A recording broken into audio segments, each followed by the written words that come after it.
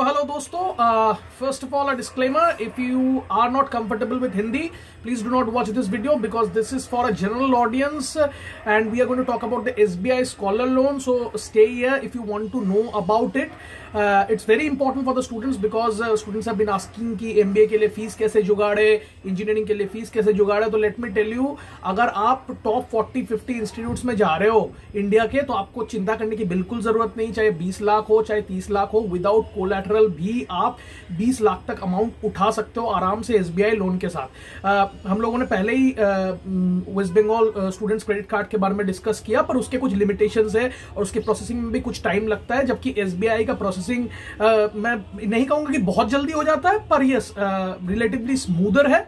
और इसलिए मैं एसबीआई के बारे में आज बात करने आया हूँ, क्योंकि आप कोलेटरल के बिना 20 लाख 30 लाख तक भी लोन ले सकते हो सर्टन कॉलेजेस के लिए। वो डिपेंड करता है कि आप कौन से कॉलेज में गए हो, और बहुत सारे फैक्टर्स पे डिपेंड करता है कि आपकी इनकम वगैरह क्या है। बट अगर आप एसबीआई की वेबसाइट विज़िट करोगे और उसके स्कॉलर लोन की क्राइटेरिया ढूंढोगे कि स्कॉलर लोन पाने के लिए आपको कौन कौन से कॉलेजेस में जाना पड़ेगा तो वहाँ पे पूरी लिस्ट आ जाएगी। तो आप पहले वो डाउनलोड कर लीजिए और देख लीजिए आपका कॉलेज एसबीआई स्कॉलर लोन के लिए एलिजिबल है कि नहीं।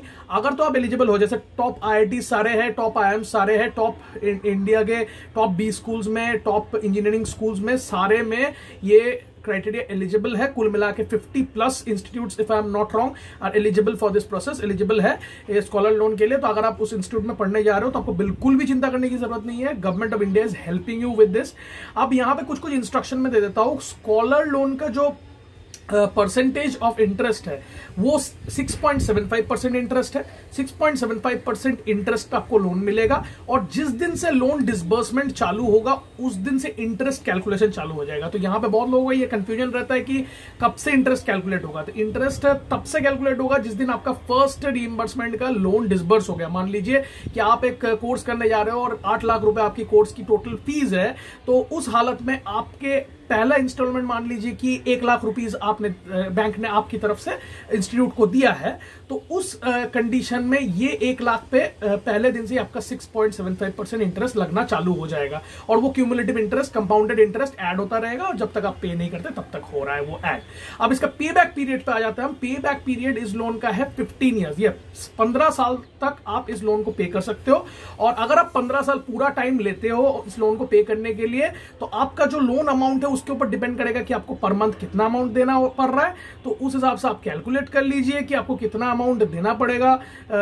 आप इंटरेस्ट रेट जानते हो 6.75 परसेंट और कंपाउंडेड इंटरेस्ट कितना होगा और टोटल इंटरेस्ट और प्रिंसिपल अमाउंट मिला के आपको कितना देना पड़ेगा, आप देख लीजिए। मैं आपको एक अप्रोक्सीमेट फिगर दे देता हूँ। अगर आप दस लाख रुपए लोन ले रहे हो एसबीआई से आज के दिन में, और मान के चलते कि दस लाख रुपए एसबीआई आपको मतलब आपके इंस्टीट्यूट को पूरा दे रही है one at a time right now तो पंद्रह साल तक आपको करीबन करीबन आठ हज़ार से नौ हज़ार रुपए, आठ हज़ार से दस हज़ार मान के चलिए क्रूड एस्टिमेट में बता रहा हूँ। पे करना पड़ेगा एसबीआई को पर मंथ। और ये आपको पंद्रह साल तक पे करना पड़ेगा to like pay off the entire money अगर आप पूरा पैसा वापस लौटाना चाहते हो तो।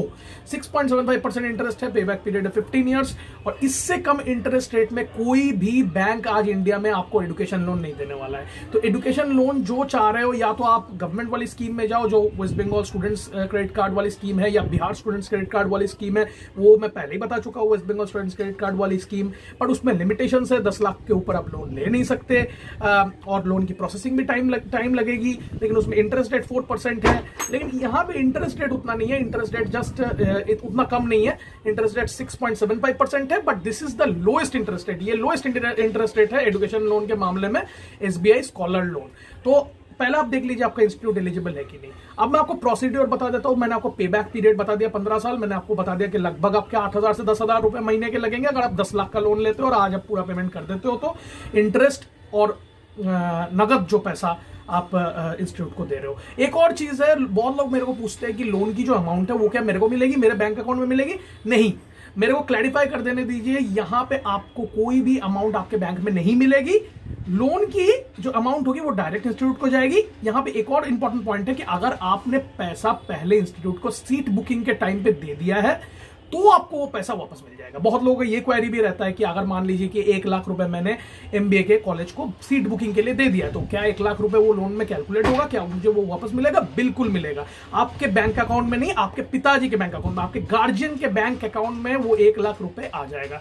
ये वेरी इंपॉर्टेंट है तो आपका गार्जियन भी आपके साथ इस प्रोसेस में अटैच है। तो ये आप सुन लीजिए, ये आप ध्यान से सुन लीजिए कि आप अकेले लोन तो ले रहे हो।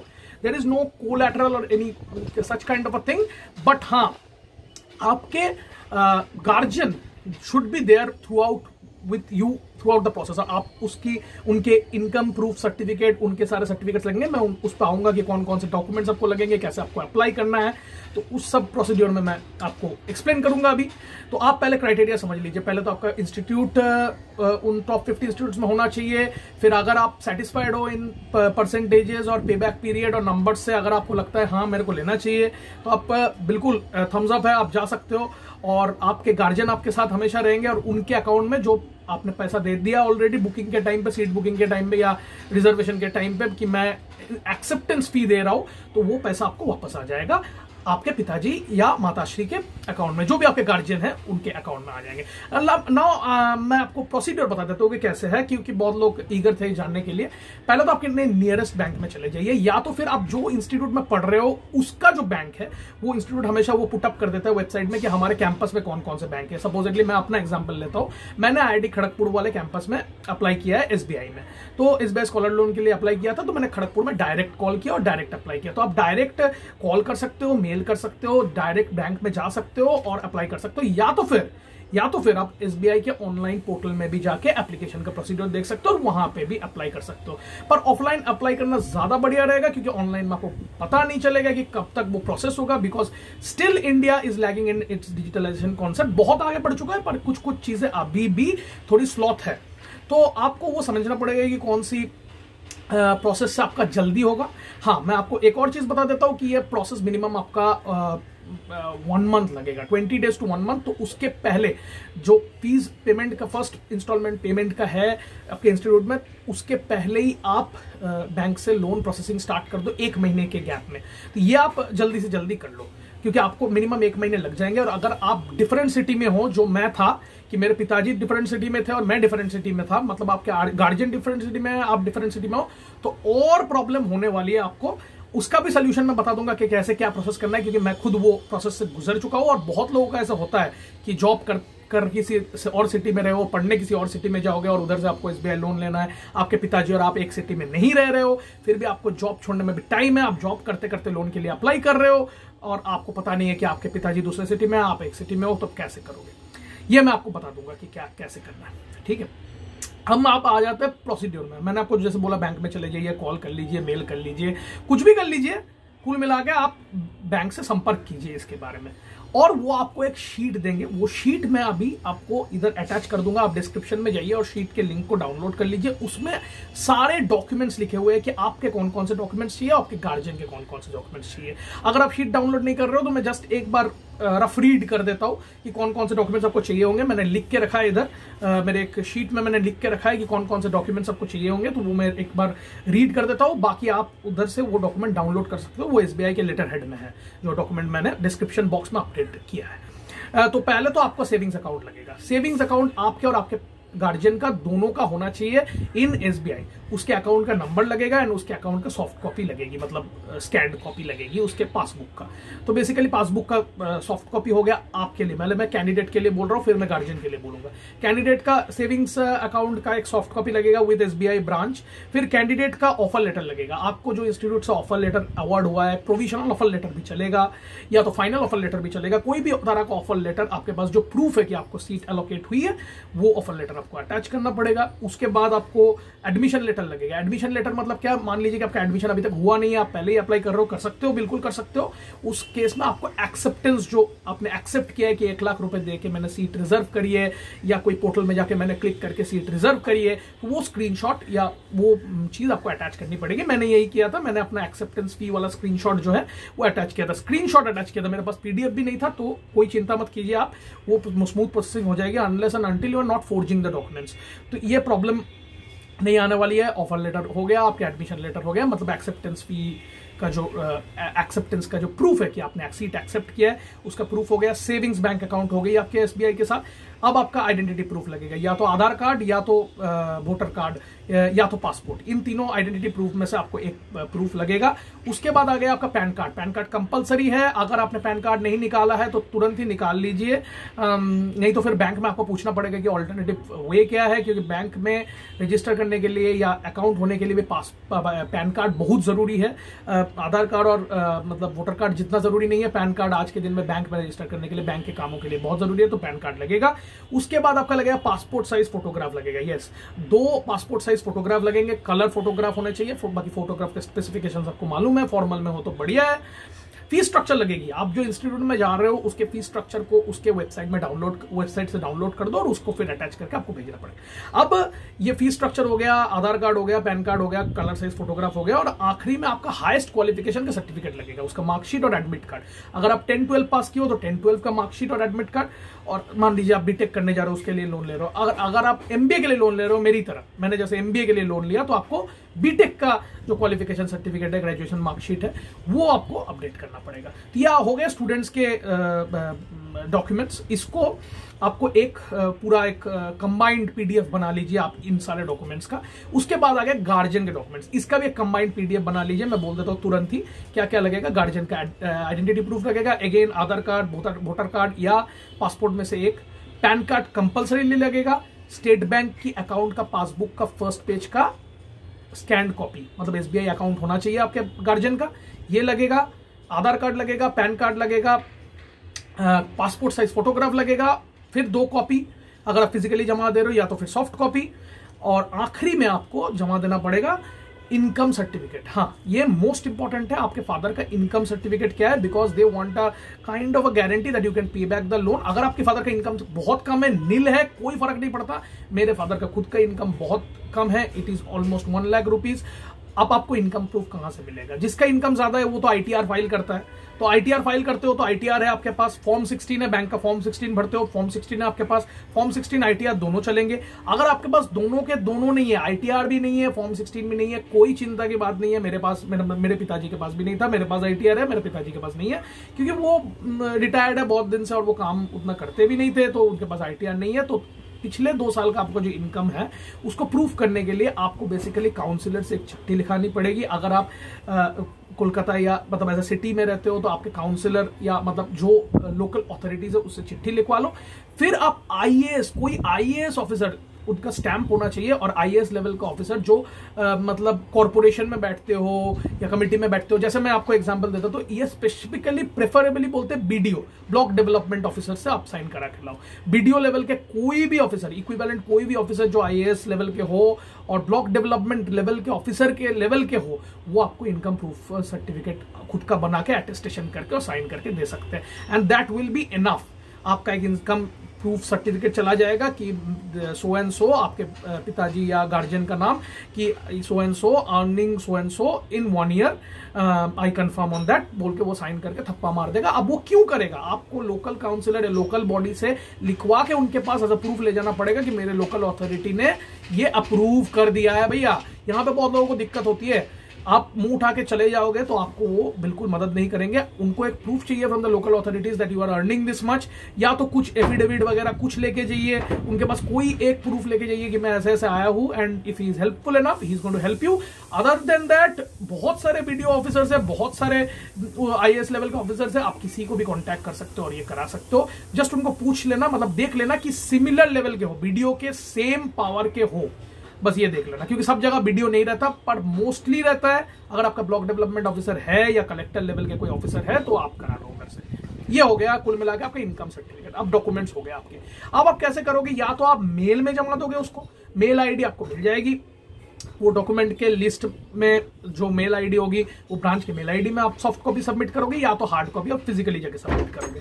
अब क्या होता है कि बैंक आपके नियरेस्ट जो बैंक है, आपने जिस बैंक मान लीजिए मैंने खड़गपुर में अप्लाई किया है ठीक है? तो खड़गपुर क्या करेगा? Kharagpur will send this documents to my home nearest branch मतलब मान लीजिए मैं रहता सियालदा में हूँ, कोलकाता सियालदा में हूँ, और मैंने खड़गपुर में अप्लाई किया है तो खड़गपुर तो मैं जाऊँगा नहीं उतना दूर। मैंने खड़गपुर में सॉफ्ट कॉपी भेज दी मेल के थ्रू अब वो सॉफ्ट कॉपी प्रिंट करा के और उनके इंटरनल पोस्ट या इंडियन पोस्ट के सिस्टम से वो मेरे नियरेस्ट मतलब सियालदा के नियरेस्ट या कोलकाता के नियरेस्ट जो मेरा लोकेशन है, उसके नियरेस्ट वाला वाले ब्रांच में वो भेज देंगे। वो आपको पूछ लेंगे कि कौन सा ब्रांच आपका नियरेस्ट ब्रांच है। और उस ब्रांच में वो सारे डॉक्यूमेंट्स का कंपाइल करके एक साथ मिला के वो भेज देंगे और अपना फॉर्म भी भेज देंगे। अब क्या वो फॉर्म आपको पूरा भरना पड़ेगा। उसमें स्टैंप पेपर भी रहता है, उसमें डॉक्यूमेंट्स भी रहते हैं, उसमें आपको सारा सबमिशन करना है कि कितना लोन आपको चाहिए साइन बहुत सारे रहते हैं, कुल मिला के चौदह से पंद्रह साइन आपका खुद का और आपके गार्जियन का। दोनों को करना पड़ेगा, चौदह से पंद्रह साइन कुल मिला के है। तो यहाँ पे आ जाती है मेन बात कि अगर आप और आपके गार्जियन एक सिटी में नहीं हो तो क्या करोगे? तो मैंने जो किया था कि मेरे गार्जियन ने पहले वो डॉक्यूमेंट नियरेस्ट बैंक से कलेक्ट किया। नियरेस्ट बैंक से आपको डॉक्यूमेंट कलेक्ट करना है। खड़गपुर ने आपके बैंक में भेज दिया, मान लीजिए सियालदा ब्रांच में भेज दिया मुचीपाड़ा ब्रांच में भेज दिया, आपके ब्रांच में भेज दिया, आपके नियरेस्ट ब्रांच में। आप वहाँ पर जाइए और वो डॉक्यूमेंट उठा के लाइए और फिर साइन कीजिए, आपके पिताजी से साइन करवाइए और फिर बैंक में जाके आप डॉक्यूमेंट वेरिफिकेशन कराइए। अब यहाँ पे इंपॉर्टेंट चीज़ आ जाती है, आपके पास जो जो स्कॉलर लोन के जो डॉक्यूमेंट्स मैंने अभी पढ़े, वो सारे आपको अप्रूव कराने पड़ेंगे। नियरेस्ट ब्रांच के मैनेजर से या ब्रांच ऑथोरिटीज से। तो बेसिकली वो फिजिकली वेरीफाई करेंगे प्लस आपके उस डॉक्यूमेंट्स में साइन करवाएँगे। जो जेरोक्स के डॉक्यूमेंट्स आए, उस पर आपको साइन करना पड़ेगा। आपको जो एसबीआई का लोन एग्रीमेंट है, उस पर साइन करना पड़ेगा। स्टैम्प पेपर में साइन करना पड़ेगा। और आपके गार्जियन को भी सेम उनके डॉक्यूमेंट्स पे साइन करना पड़ेगा। प्लस फॉर्म में साइन करना पड़ेगा प्लस स्टैम्प पेपर में साइन करना पड़ेगा। तो ये जो साइन के सारे मामले हैं ना, ये आप कुरियर में भेज दो। मतलब आपके पिताजी मान लीजिए लोन के डॉक्यूमेंट्स उठा के लाए फिर आपके गार्जियन मान लीजिए कि सारे स्टैम्प पेपर लोन के डॉक्यूमेंट्स और एटेस्ट मतलब जो डॉक्यूमेंट्स आप, मैंने अभी पढ़े, वो सारे लेके आए और फिर अपने साइन सारे जगह पे कर दिए। फिर आपके जो साइन पेंडिंग है, वो आपके कुरियर करके भेज दिया। कुरियर पे आपने साइन करके वापस रिकुरियर कर दिया। आपने वापस से अपने गार्जियन को भेज दिया। आपके गार्जियन ने कलेक्ट किया और बैंक में चले गए फ़िज़िकल वेरिफिकेशन के लिए। अब आपके गार्जियन को बैंक को समझाना पड़ेगा कि मेरा बेटा या बेटी या कोई भी मतलब मेरा जो कंसर्न पर्सन वो यहाँ पे नहीं है, दूसरे सिटी में वो काम कर रहा है। आप प्लीज़ समझिए, ये उसका ओरिजिनल डॉक्यूमेंट है। Very important guys original document होना चाहिए। मैंने अपने ओरिजिनल डॉक्यूमेंट कुरियर के थ्रू मेरे पास थे, मेरे जॉब लोकेशन में मैंने कुरियर के थ्रू मेरे पिताजी को भेज दिया था। तो अगर आप दूसरे सिटी में हो तो ओरिजिनल डॉक्यूमेंट्स आपके पिताजी या आपके गार्जियन के पास होना चाहिए, जो डॉक्यूमेंट वेरिफिकेशन करा रहा है। तो जो जो डॉक्यूमेंट्स मैंने बोले, उसके सारे ओरिजिनल के साथ वेरीफाई होंगे और अटेस्टेशन वेरीफाई होंगे कि सारे पे साइन हुआ है कि नहीं, और फिर जब सारा डॉक्यूमेंट कंपाइल हो जाएगा, फिर वो लोग उस फॉर्म को वापस भेज देंगे to Kharagpur to the bank location that you applied the loan for अगर आपने लोकल में अप्लाई किया तो वो लोग खुद एक्सेप्ट कर लेंगे। अगर आपने दूसरी कोई जगह पे अप्लाई किया है तो वो लोग कुरियर के थ्रू इंटरनल कुरियर के थ्रू उसको भेज देंगे। अब यहाँ पे क्या होता है कि बहुत बार उन लोगों का काम बहुत पेंडिंग हो जाता है तो वो भेज नहीं पाते। प्लीज़ आप जाइए और अथॉरिटी से बार बार उसको पोक कीजिए, क्योंकि ज़रूरत आपकी है। आपको कंफर्म करना पड़ेगा कि अथॉरिटीज ने वो भेज दिया है कि नहीं। अगर एक बार चला गया आपके तो प्रोसेसिंग होने में फिर आपके पाँच दस दिन लगेंगे, उसके बाद आपका एक मैसेज आ जाएगा कि लोन अप्रूव हो गया, उसके बाद आप डॉक्यूमेंट मांग लीजिएगा और अपना रीइंबर्समेंट भी क्लेम कर लीजिएगा। कि मेरे को इतना अमाउंट में ऑलरेडी एक्सेप्टेंस फ़ीड दे चुका था, या आप मेरे पिताजी के बैंक में भेज दो। यहाँ पे फिर आपके बैंक में नहीं आएगा, आपके पिताजी के जो बैंक डिटेल्स है, उसमें डायरेक्ट ट्रांजैक्ट हो जाएगा। तो आपको वापस वो रीइंबर्समेंट फ़ी मिल गई, जैसे मैंने एक लाख एक्सेप्टेंस फ़ी दिया था, मेरे को एक लाख वापस मिल गया। और जो एज एंड वेन रिक्वायर्ड जो जो डिसबर्समेंट होना है, वो वो डिसबर्समेंट होगा। और मेरा सजेशन ये रहेगा कि कॉलेज के लोकल बॉडी से कराइए, क्योंकि फिर आपको अपडेट लेने की ज़रूरत नहीं पड़ेगी, वो खुद ब खुद लिंक हो जाता है कि अब आपका लोन का इंस्टॉलमेंट का समय आ रहा है तो क्या हम कर दे? आप कंफर्म कर दीजिए, वो डायरेक्ट कर देते हैं। तो बहुत स्मूथ प्रोसेस हो जाता है। आई होप कि आप समझ गए होंगे डिस्क्रिप्शन से वो डॉक्यूमेंट के लिंक देख लीजिए कि क्या क्या डॉक्यूमेंट्स आपको लगेंगे, और आप प्रोसेस को समझ ही गए होंगे अब तक। इतना देर तक सुनने के लिए बहुत बहुत धन्यवाद मैं आशा रखता हूँ कि आपको इस वीडियो से मदद मिली होगी। अगर मिली है तो लाइक करें, सब्सक्राइब करें, शेयर करें और बेल्स आइकन को ज़रूर क्लिक करें। रेगुलर अपडेट्स के लिए हम लोग इंजीनियरिंग की वीडियो बनाते हैं, स्टूडेंट्स की मदद करने के लिए इंटरव्यू की वीडियो बनाते हैं, एमबीए की वीडियो बनाते हैं, हर तरह की वीडियो हमारे चैनल में अवेलेबल है। बाकी वीडियोस देखने के लिए प्लेलिस्ट या ऐसे देख लीजिए। हम लोग वीडियो बनाते रहेंगे, आपको खुश करते रहेंगे, आपकी मदद करते रहेंगे। ऑल द बेस्ट जो जो लोन के लिए अप्लाई कर रहा हूँ, सबको मिल जाएगा। बढ़िया रहेगा सब कुछ चलता है।